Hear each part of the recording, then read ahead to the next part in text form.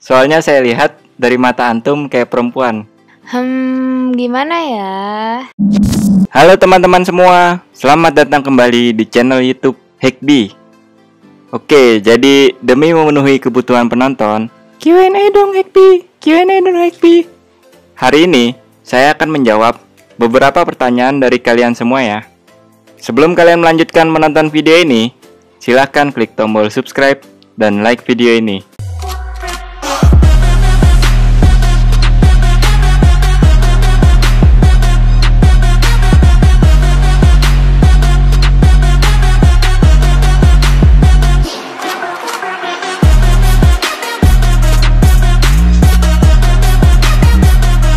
Oke, terima kasih banyak untuk yang sudah subscribe dan like video ini. Karena di setiap video, saya selalu mengatakan akan menjawab pertanyaan dari kalian. Jadi, hari ini saya akan menjawab beberapa pertanyaan yang ada ya guys ya. Oke, yang pertama dari AAC Gaming. Halo Bang, mau tanya. Saya ingin menjadi white hacker. Mungkin maksudnya white hat ya.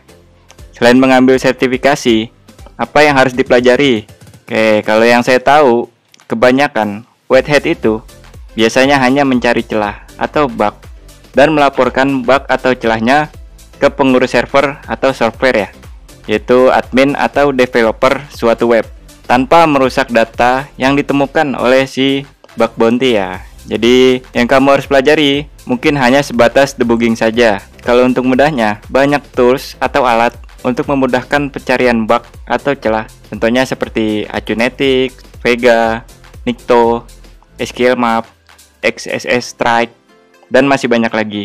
Kalau kalian pengguna Windows, bisa gunakan Acunetics. Atau kalau mau mudahnya, kalian bisa menggunakan distro Linux seperti Kali Linux atau Parrot OS. Karena OS tersebut memang dikhususkan untuk pentest ya, dan aplikasi-aplikasi pentest sudah bawaan terinstall, jadi tinggal pakai. Pertanyaan selanjutnya dari YRMD. Jadi gini bang, saya mau tanya, jadi hacker itu rasanya gimana bang? Nah, kalau mau jujur, jadi hacker itu tidak enak. Kenapa tidak enak? Karena pertama, kalau kalian sudah mahir, seperti peretasan sosmed, kalian bisa dengan mudah masuk ke akun sosmed pasangan kalian. Ini pengalaman pribadi saya ya. Ketika saya membuka sosmed pasangan saya, selalu ya sakit. Karena kenyataan itu memang selalu menyakitkan.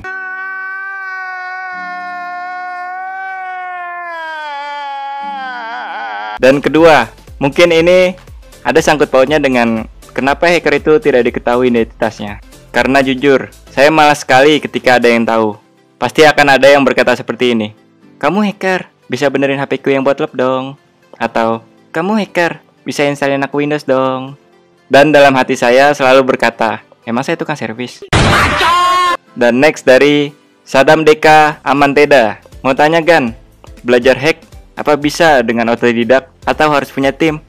Kalau untuk belajar, bisa otodidak. Cari skill dan kemampuan kamu tersendiri. Karena memang kalau mau ngetim, itu biasanya orang-orang yang punya kemampuan yang berbeda dan unik ya. Karena tujuan dari tim itu adalah saling membantu dan melengkapi. Jadi misalnya ada satu yang membuat exploit, ada satu yang bisa mencari kelemahan suatu aplikasi. Ada perempuan yang bisa mengerecokin doang mending kick aja. And then dari Arif Febrian. Bang, saya mau tanya. Keluarga abang tahu gak kalau abang itu hacker? Semoga dijawab. Kali ini tidak ada yang tahu. Karena saya mempunyai alibi pedagang online shop atau web developer. Mungkin keluarga saya suka bertanya, kenapa banyak barang datang dari luar negeri? Saya selalu menjawab, itu pesanan orang karena memang alibi saya saya adalah pedagang online shop. Oke, ini pertanyaan bagus dari Ali Hamdun dan Rizky Ramadan. Bang mau tanya, kenapa channelnya dinamain Hackby? Q&A, asal usul nama channelnya kok Hackby? Itu dari mana? Nah, kalau nama channel Hackby, ini ada ceritanya guys. Dulu saya pertama berawal dari Instagram ya. Saya punya akun Instagram dengan nama Hack ID. Dulu saya sering sharing tentang hacking dan selalu berinteraksi dengan follower saya. Sebenarnya sih antara berinteraksi sama bahan percobaan itu beda-beda tipis ya guys ya. Karena banyak yang follower saya itu adalah laki-laki dan menyadari kalau saya ini bukan laki-laki, banyak yang memanggil saya sayang Beb, atau B? Biasalah, ciri khas Jonas. Baca. Karena saya suka sharing tentang hacking, dan jadinya akhirnya ada yang menyarankan saya membuat channel YouTube dengan nama Hackpi. Oke, ini sedikit lucu dari Ali M. Hussein 16. Kak, boleh tanya nggak? Gak. Gak. Pertanyaan selanjutnya dari Arya Bintang. Bang, aku udah like plus subs sama loncengnya. Mau tanya apa untungnya jadi hacker? Tolong dijawab. Sama gimana caranya jadi hacker? Untungnya sih jelas ya, kalian punya skill yang jarang orang biasa punya. Dan kalau caranya, ya sebenarnya semua berawal dari niat ya. Kalau kamu mau belajar, pasti bisa kok. Tapi Hackby, saya udah umur 70 tahun. Apakah bisa? Bisa, karena tidak ada kata terlambat untuk belajar menggambar. Oke, ini pertanyaan menarik dari Adam Alfarabi. Bang, boleh tanya, kok green screen-nya bocor ya? Masa sih? Bocor di bagian muka saya ya? Sebenarnya nggak bocor. Memang saya ambil kayaknya ke bagian wajah saya biar nggak kelihatan. Hah? Mau bocor, bocor, bocor. Next dari Fun Fun Mobil Gaming. Bang, saya mau tanya, maksud wordlist itu apa ya? Wordlist itu adalah sekumpulan kata-kata. Biasanya dimasukkan ke dalam file, misalnya kayak file teks. Contohnya, saya punya wordlist, namanya yaitu user.txt. Biasanya, isi dari file user.txt itu adalah admin, root, super user, pengurus.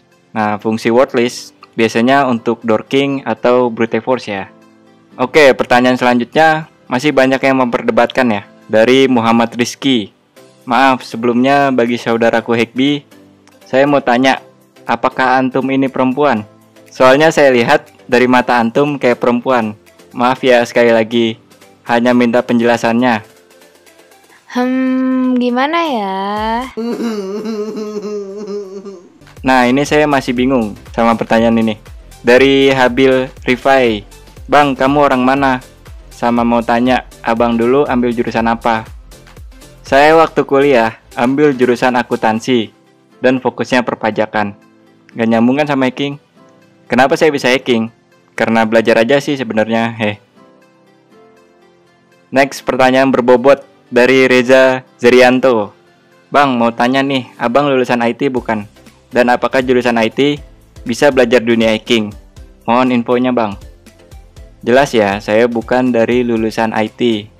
Nah, untuk jurusan IT, itu kan kalian biasanya diajarkan untuk membuat, bukan merusak. Tapi biasanya, kalau kalian sudah bisa membuat, kalian pasti bisa untuk merusak.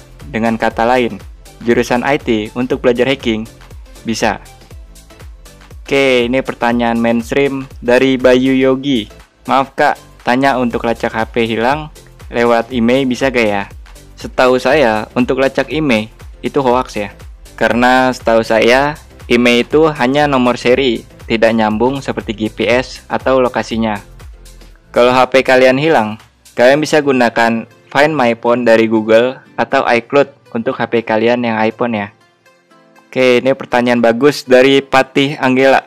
Bang, mau tanya nih, ada berita TV ngatain anak SMP udah bisa bobol situs NASA padahal kerjanya ngegame di warnet. Terus pas TV itu masuk ke rumahnya, diliatin PC-nya masih pakai Windows 10. Pertanyaan gue bang, emang bisa bobol situs NASA pakai Windows? Karena setahu aneh, Windows itu rentan dan mudah untuk dirusak. Apalagi dimasukin virus daripada OS Linux dan masih banyak kekurangan Windows lainnya kalau buat ngehack. Jawab bang, gue penasaran banget.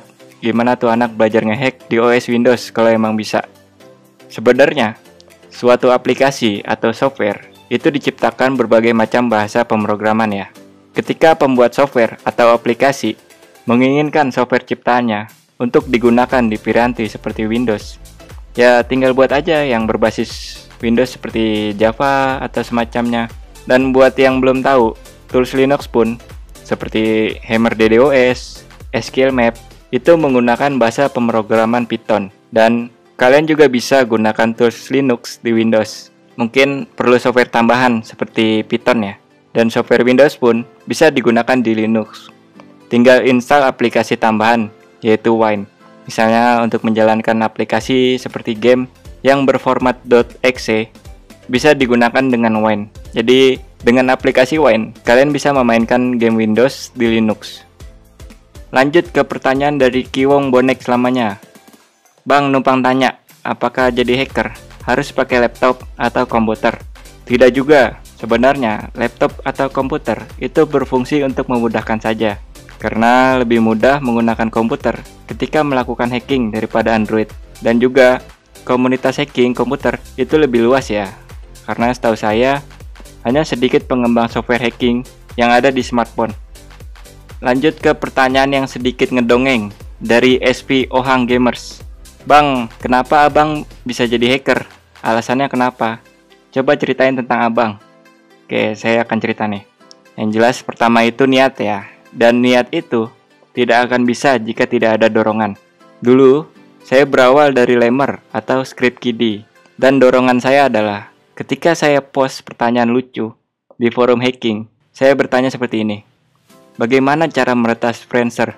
Tahulah Friendster lah, orang dulu pasti tahu. Di situ, saya dikatain bocah dan diketawain abis-abisan. Akhirnya, saya berniat untuk membuktikannya bahwa saya bisa, dan akhirnya saya menciptakan tools dan cara untuk peretasannya. Oke, jadi sebelum kalian menjadi hacker, kalian harus dikata-katain dulu ya. Lanjut ke pertanyaan selanjutnya dari Muhammad Farhan Fatur. Q&A, Kak, sering surfing di deep web gak? Kalau sering, Biasanya konten-konten seperti apa yang kakak surfing? Karena pertanyaan ini, saya jadi ingat sekitar tahun 2016. Saya suka mencari exploit-exploit yang ada di deep web. Dan saya mendapatkan beberapa exploit milik Shadow Broker yang dibocorkan yang katanya lebih hebat dari exploit yang ada di Stuxnet. Tapi masih dalam keadaan encrypt. Saya dulu lepas tangan untuk mendekripnya. Akhirnya ketika 2017 saya mendapatkan tools yang sudah didecrypt dan luar biasa. Toolsnya bisa melakukan hacking tanpa perlu ada interaksi antara peretas dan korbannya. Seperti simsalabim dan Anda teretas. Dan sampai sekarang, sepertinya exploit itu masih jadi yang terhebat ya. Lanjut dari One Sharp Gaming. Q&A. Gimana cara melakukan hacking melalui Android? Makasih. Sama-sama. Baca. Untuk Android, kalian bisa gunakan aplikasi Termux. Dengan Termux, kalian bisa menjalankan tools-tools hacking yang ada di Linux di perangkat Android kalian. Jadi tinggal download saja aplikasi Termux di Play Store dan tinggal copy saja tools-tools Linux. Mungkin sudah banyak ya tutorial di internet sekarang. Dan mungkin nanti saya akan membuatkan tutorial tentang Termux juga ya. Dan lanjut ke pertanyaan dari Seiya X Q&A. Bang, minta saran, APK VPN terbaik dong. Makasih, sama-sama. Baca. Kalau untuk VPN terbaik, itu ada dua ya, yaitu berbayar dan gratis. Kalau yang berbayar, saya sangat merekomendasikan VIP 72 dan HMA. Mungkin untuk VIP 72 sekarang masih di atas 500 ribu ya per bulannya dan HMA sekitar 50.000 per bulannya. Saya sudah mencoba VIP 72 dan memang sangat bagus sekali. Untuk kalian yang mengerti fungsi dari VIP 72, ya tahulah. Kalau HMA itu bisa dipakai di smartphone. Saya sudah berlangganan HMA dari mungkin sekitar 2015 sampai sekarang ya. Saya suka HMA karena memiliki server di Indonesia juga. Jadi nggak lemot karena servernya dekat dan pingnya pun masih normal untuk streaming dan untuk main game. Oke, kalau untuk yang gratis, kalian bisa pakai Hotspot Shield, Hetman VPN, dan IPJ Table ya. Hotspot Shield dan Hetman lumayan bagus kalau untuk hanya membuka web, tapi untuk streaming sedikit kurang bagus. Dan IPJ Table itu lumayan bagus, cocok untuk port forwarder, tapi memang sedikit lag ya. Ya namanya juga VPN gratis, syukurin aja apa yang ada. Lanjut ke pertanyaan terakhir dari Rauza Fathir. Q&A. Bang, kegunaan RDP apa bang? RDP itu banyak kegunaannya ya. Sebenarnya RDP itu adalah server atau komputer yang OS-nya adalah Windows. Dan RDP itu online 24 jam. Jadi nggak mati-mati ya. Dan karena biasanya RDP itu adanya di luar negeri. Jadi IP-nya pasti IP luar negeri. Contoh fungsi RDP gini. IP kalian kan IP Indonesia. Kalian akses RDP kalian yang IP-nya luar negeri. Dan dari RDP, kalian membuka website luar negeri, pasti terdeteksinya kalian sedang berada di luar negeri. Jadi modelnya pengganti VPN ya. Kalau saya menjelaskan tentang RDP, pasti yang ngerti Amazon dan eBay pasti ketawa ya. Jadi ya segitu saja saya bahas RDP-nya.